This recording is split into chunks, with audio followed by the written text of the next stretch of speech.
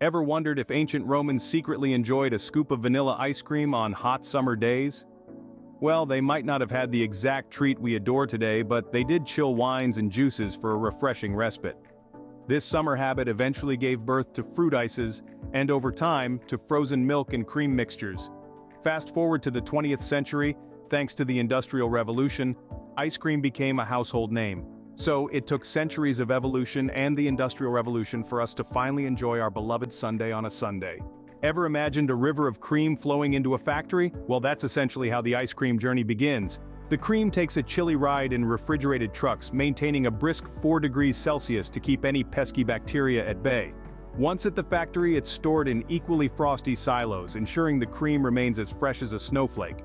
But cream alone doesn't make ice cream. Oh no, it gets a little help from its friends. Powdered skim milk, plant-based stabilizers, emulsifiers, sugar and corn syrup. They all dive into a high-speed mixer, dancing together in a whirl of sweetness. The temperature is key here. Too warm and it's a bacteria party, too cold and you've got a creamy iceberg. It's a careful balance, like a tightrope walker in a snowstorm. And that, folks, is how our deliciously sweet ice cream embarks on its journey, all the way from the factory to our freezers. Ice cream and heat sounds like a recipe for disaster, right? Not in this case. After the ingredients are mixed, the blend is escorted to the pasteurization machines, the unsung heroes of ice cream production. Pasteurization is essentially a hot yoga session for our creamy blend where it gets heated to a specific temperature. This warmth is not just for relaxation though. It's here to kill any lurking bacteria and activate the stabilizers, ensuring your scoop is both safe and delicious. Now the machine that makes this happen is called a plate heat exchanger. Picture a stack of stainless steel plates pressed together with gaskets, kind of like a metallic sandwich. This design allows for efficient heat transfer, making sure every part of the mixture gets its fair share of the heat.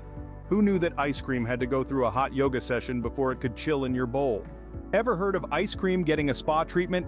It's called homogenization and aging. After our creamy concoction has been pasteurized, it's time for some pampering. In the homogenization process, fat globules are broken up into tinier particles.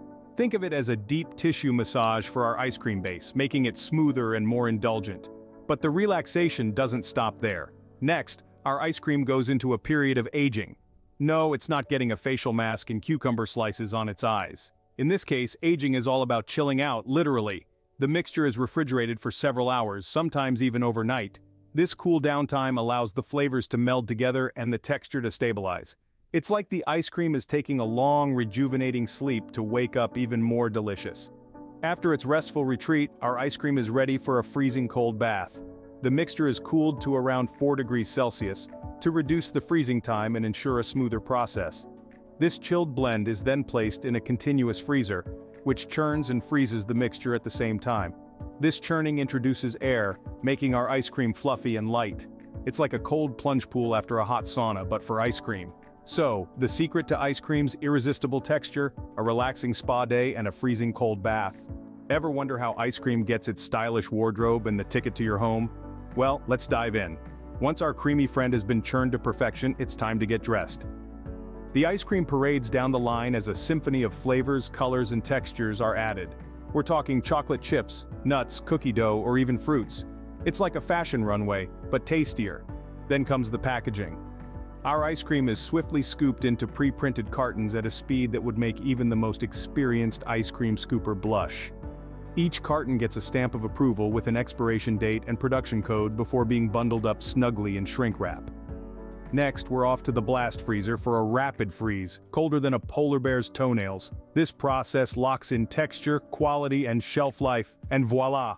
Your ice cream is ready to take a ride to your local store, just waiting to jump into your shopping cart.